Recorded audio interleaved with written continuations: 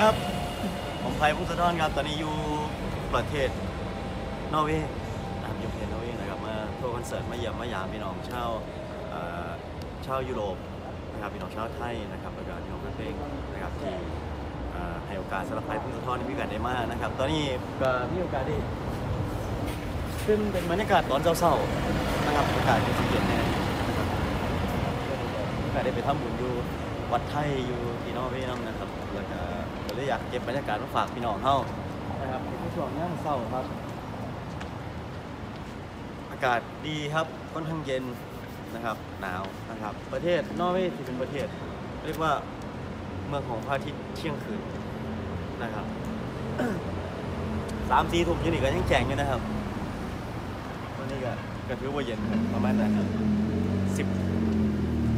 ว่าอาจจะพูดถึงสิบองศาเลยครับ เท้าผมก็จะ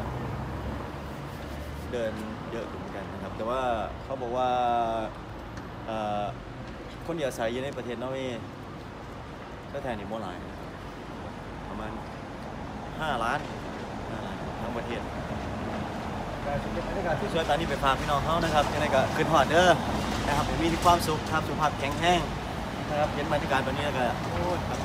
อยากพาครอบครัวอยากพาเอ่อ ไปบุรีคนมาเที่ยวนะครับพาแม่มาเที่ยวนะครับต่างประเทศ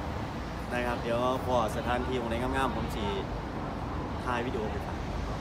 นะครับยังไงก็ให้มีความสุขหลายๆครับผมบ๊ายบายครับ